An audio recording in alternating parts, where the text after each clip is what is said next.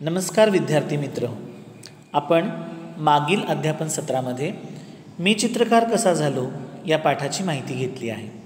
त्यात लेखकांनी चित्रकला कशा पद्धतीने आत्मसात केली कॅनव्हास कसा मिळवला रंगछटा कशा अभ्यासल्या वेगवेगळे रंग कसे मिळवले त्यात भूक तहान हरपून फक्त कला जोपासणे हे काम ते करीत राहिले. हा भाग आपण पाठाच्या सुरुवातीच्या भागात पाहिलेला आहे. तर आज आपण पाठाच्या पुढच्या भागाबद्दल अधिक माहिती घेऊया.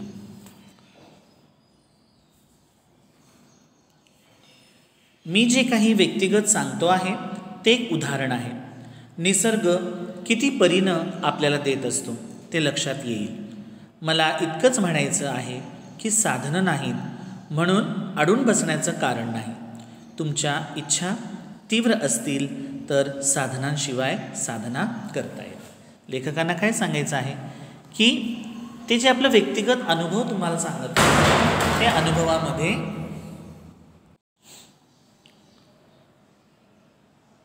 लेखक आपल्याला उदाहरणामध्ये सांगत आहेत की निसर्ग आपल्याला आपल्या पद्धतीनं काही ना काही देत असतो. हे आपण पाहिलं शिकलोसुद्धा पण आपण काय करतो की आपल्याकडे साधनं नाही आहेत म्हणून आपण काय करतो? निवांत तसंच बसतो. मला हे करण्यासाठी हे नाही किंवा मला नवीन प्रोजेक्ट करायचा आहे तर माझ्याकडे अशी साधनं नाही आहेत. म्हणून आपण काय करतो तसंच बसून राहतो. तर लेखकांना काय सांगायचं आहे की तुमच्या इच्छा ज्या आहेत त्या तीव्र करा. म्हणजे वाढवा. ते वाढवल्यानंतर तुम्हाला साधनं जरी तुमच्याकडं उपलब्ध नसतील तरीसुद्धा तुम्हाला त्या कलेची तुम्हाला साधना करता येते. आता हेच पहा. श्रावण सरता सरता पाऊस कमी व्हायचा. पण नदी वाहतच असायची. आता श्रावण महिन्यामध्ये खूप पाऊस होत असतो मुलांना. त्यामध्ये काय होतं? नदी नाल्यांना खूप मोठ्या प्रमाणात पाणी आलेलं असतं. पण लेखकांना काय म्हणायचं इथं की श्रावण सरता सरता म्हणजे श्रावण महिना जाता जाता काय व्हायचं? पाऊस कमी कमी व्हायचा. पण नदी वाहतच असायची. आमचा कॅनव्हस म्हणजे खडक मोकळा व्हायला पार चैत्र महिना उजाडायचा. आता श्रावण महिन्यापासून चैत्र महिना म्हणजे मुलांना पूर्ण पावसाळ्याचे दिवससुद्धा संपले आणि थंडीचे दिवससुद्धा संपलेले आहेत. म्हणजे पा उन्हाळा सुरू होणार आता. म्हणजे चैत्र महिना येतो म्हणजे उन्हाळा सुरू होतो. तोवर काय करायचं? तोवर म्हणजे तोपर्यंत काय करायचं? मग त्यांना काय समजे ना आता काय करावं लागेल? मग त्यांनी काय शिक केले? त्यातूनच त्यांनी आम्हाला मातीचा नाद लागला. आता माती माहिती तुम्हाला? पूर्ण जमिनीवर माती आहेत. मातीचे वेगवेगळे रंग पण आहेत. मातीचे वेगवेगळे प्रकारसुद्धा आहेत मुलांना. पण माती ज्या प्रदेशात ज्या भागात ज्या पद्धतीनं आढळते त्या पद्धतीनं आपण पाहतो. आता आपण गणपतीच्या मूर्त्या पाहतो आपण. गणपतीची मूर्ती प्लास्टर पॅलेस मातीपासून बनवलेली असते. म्हणजे ती कठीण असते. ती माती कशी असते? टणक असते. एकदम कडक असते ती माती. तीच माहिती जर आपण शाडूची माहिती पा माती पाहिली तर शाडूची माती ही गुळगुळीत असते. आणि त्या त्या मातीला जर आपण पाण्यात टाकलं की ती माती पूर्णपणे विरघळत असते. त्यातूनच आम्हाला मातीचा नाद लागला. लाल भडक मौशार माती हाताला लोण्यासारखी वाटायची. मूर्ती कराव्यात असं ठरलं. पण हा मातीचा खेळही लपून छपून करावा लागे. कधी गोठ्याच्या मागच्या बाजूला नाही तर गावातील मंदिराजवळच्या बकुळीच्या झाडाखाली आमचा उद्योग चालायचा. आता मातकाम करणे हे सुद्धा त्यांना लपून छपून करावं लागत होतं. कारण की मातीमध्ये हात घाण करून बसणे किंवा हात पूर्णपणे माखून बसणे हे त्यांच्या पालकांना किंवा लेखकांच्या आईवडिलांना हे आवडणारं नव्हतं. म्हणून ते काय करायचे? हे सगळं काम ते लपून छपून करायचे. कधी गोठ्याच्या मागच्या बाजूला गोठा म्हणजे काय? जिथं गुरे बांधली जातात ना मुलांना तो भाग म्हणजे गोठा. त्याच्या मागच्या बाजूला ते करायचे किंवा मंदिराजवळच्या बकुळीच्या झाडाखाली करायचे. आता मंदिराजवळ पण बरीच झाडं असतात. त्या झाडांमध्ये बकुळीचं एक झाड होतं. त्या झाडाखाली ते मातकाम करत बसायचे. मूर्ती करून वाळ ठेवल्या की काही काळानं त्यांना तडे जाऊन ढासळायचे. तडे जाणे म्हणजे काय मुलांनो? त्यात मोठ्या मोठ्या काय पडायची? रेषा पडायची. म्हणजे भे भेगा पडणे. त्याला आपण काय म्हणतो? तडे जाणे. मग ते काय ढासळायचे सुद्धा. ढासळणे म्हणजे काय? कोसळणे. आता मूर्ती इतकी सुंदर आपण बनवलेली आहे. आणि सुंदर मूर्ती बनवल्यानंतर जोपर्यंत त्यामध्ये ओलावा असेल तोपर्यंत ती मूर्ती तशीच राहायची. पण एकदा ती मूर्ती वाळली की मग त्यावर काय व्हायचं? भेगा पडायच्या. म्हणजे म्हणजे त्यामध्ये मोठमोठे ती माती सरकायची आणि सरकल्यामुळे ती माती मूर्ती काय व्हायची? तुटायची. तुटलं की त्यांना हिरमोड व्हायचं. हिरमोड म्हणजे ती दुःखी व्हायची. त्यावर काहीतरी उपाय शोधायलाच हवा होता. विचार करता करता लक्षात आलं की गाईचं शेण ओलं असताना जसं असतं तसंच ते वाळल्यावरही राहतं. त्याला तडे जात नाहीत. आम्ही शेण मातीत मळून घेतलं. आता मूर्ती थोड्या टिकायला लागल्या. तरीही जास्त दिवस झाल्यावर बारीक बारीक तडे जाऊन ढलप्या पडायच्या. पुन्हा विचार सुरू. आता त्याने काय ठरवलं? की फक्त मातीपासूनच जर मूर्ती आपण बनवत राहिलो तर या मातीच्या मूर्ती काय होतात? ढासळतात तुटतात. आणि मग आपण काय करावं? काय करावं? त्याने एक नवीन उपाय शोधला. तर त्यांनी काय उपाय शोधला असेल मुलांना? तर त्या मातीमध्ये त्यांनी ठरवलं की आपण या मातीमध्ये गाईचं शेण मिसू शेण मिक्स करूया.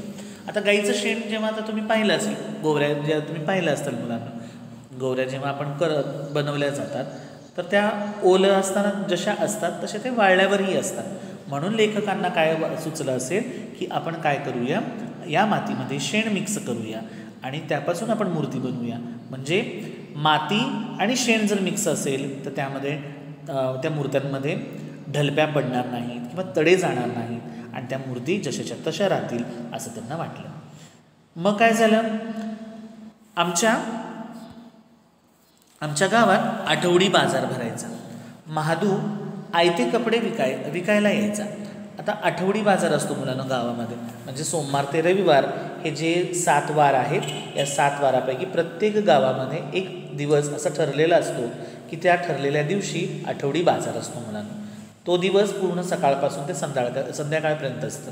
तिथं त्या बाजारामध्ये भाजीपाला फळ आपलं कपडे जे काही जीवनावश्यक ज्या गोष्टी किंवा जे काही पदार्थ लागतात किंवा ज्या वस्तू लागतात त्या सगळ्या वस्तू त्या बा आठवडी बाजारामध्ये मिळतात. मग त्या बाजारामध्ये महादू नावाचा एक व्यावसायिक होता. तो काय करायचा? तर तयार कपडे तो म्हणजे रेडीमेड कपडे तो विकायला आणायचा. सगळा डोंगर भाग फक्त पायवाटा तो आपला माल घोड्यावर लादून आणायचा. आता सगळा डोंगराळ भाग होता आणि फक्त पायवाटा म्हणजे रस्ते नव्हते म्हणजे कच्चे रस्ते होते ते. आणि तो आपला माल काय करायचा? घोड्यावर लादून आणायचा. लादून म्हणजे ठेवून आणायचा. आणि नांदुरकीच्या झाडाची दाट सावली पडायची. आता नांदुरकी हा एक प्रकार एक प्रकारचं झाड आहे मुलांना. त्याची जी सावली असायची ती खूप दाट असायची. आणि तो झाडाच्या मुळीला घोडा बांधून ठेवायचा. म्हणजे त्या झाडाच्या बुंधाला तो काय करायचा? आपला घोडा बांधून ठेवायचा. आम्हाला घोड्याची लीद दिसली. घोड्याची लीद. लीद म्हणजे घोड्याचं शेण. त्यात बरेच धागे धागे दिसत होते.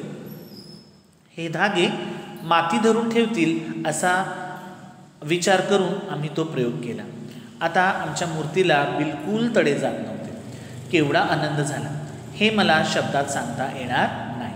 आता त्याने सुरुवातीला काय केलं? अशीच मूर्ती बनवली. मातीपासूनच मूर्ती बनवायच्या. पण ती मूर्ती काय व्हायची मुलांना? कालांतराने तुटायची. ती मूर्ती सतत तुटल्यामुळे त्यांना काय व्हायचं? वाईट वाटायचं. ते दुःखी व्हायचे. मग त्याने ठरवलं की या मातीत आपण शेण मिसळूया. शेण मिसळलं तरीसुद्धा तोच प्रकार जाणवत होता.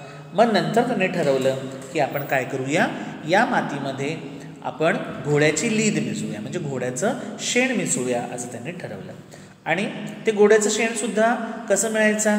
तर आठवडी बाजारामध्ये महादू नावाचा जो व्यक्ती होता तो काय करायचा? तयार कपड्यांचा व्यवसाय करायचा आणि तो घोड्या घोड्यावर सगळा माल लादून आणायचा आणि घोडा तो नांदुरकीच्या झाडाला बांधून ठेवायचा. ज्यावेळेस तो घोडा तिथं बांधलेला असायचा तेव्हा तो घोडा काय करायचा मुलांनो? शेण करायचं. आणि मग तो शेण ते उचलायचे आणि ते मातीत मिक्स करायचे आणि छान छान अशा मूर्त्या बनवायचे. मग त्या घोड्याच्या शेणपासून माती मिक्स करून जेव्हा त्यांनी मूर्ती बनवली तेव्हा मूर्ती तुटलेली नाही. आणि त्यांना खूप आनंद झाला. मी माध्यमिक शाळेत असताना आर्किमिडीज या शास्त्रज्ञानाचा धडा वाचला. आता आर्किमिडीज हे थोर शास्त्रज्ञ आहेत मुलांना. हे शास्त्रज्ञ भौतिकशास्त्रज्ञ आहेत. रसायनमध्ये त्यांनी वेगवेगळे प्रयोग केलेले आहेत. तसंच ते गणितज्ञसुद्धा आहेत. त्यांनी त्यांचं त्या आर्किमिडीज या शास्त्रज्ञांचं त्यांनी काय केलेलं होतं? धडा वाचलेला. त्याला हवं होतं ते तत्त्व शोधण्यासाठी तो साध्या वाटणाऱ्या गोष्टीतही शोधत राहायचं. ते सापडल्यावर तो न्हाणी घरातून सुद्धा युरेका युरेका करत धावत सुटायचं. म्हणजे आर्किमिडीज जो होता तो काय करायचा? छोटे छोटे जे गोष्टी असायच्या त्यातही तो नवीन नवीन गोष्टी शो शोधायचा. ती शोध तो शोध करत असताना ती जी बाब असेल किंवा ती जी गोष्ट असेल त्यांना जिथं सापडायची तिथूनच ते युरेका युरेका करत धावत चुराय सुटायचे. आता युरेका म्हणजे काय मुलांना? सापडणे. त्यालाच आणखीन आपण असं म्हणू शकतो की एखादं शोध लागलं की तो आनंद व्यक्त करण्यासाठी ते युरेका म्हणतात. युरेका शब्दाचा अर्थ असा आहे की शोध लागल्याचा आनंद कसा व्यक्त होतो? तर तो युरेका शब्दानं होतो. तेव्हा माझ्या लक्षात आलं की आपल्यालाही तेवढाच आनंद झाला होता जेव्हा मूर्तींना तडे जाण्याचं थांबलं होतं. आपल्यापुरता आपल्यापुरता का होईना पण तो एक शोध होता. मुलांनो मी तुम्हाला एवढंच सांगेन की तुमच्या प्रत्येकात आर्किमिडीज दडलेला आहे.